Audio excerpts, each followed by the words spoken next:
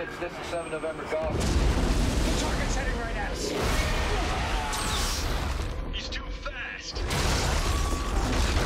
Panamanian government evidence of passengers dead or alive.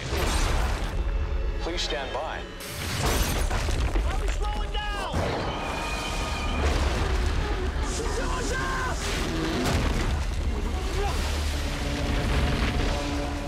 Thing's only 200 miles off the eastern American seaboard. We don't even know what the hell it is.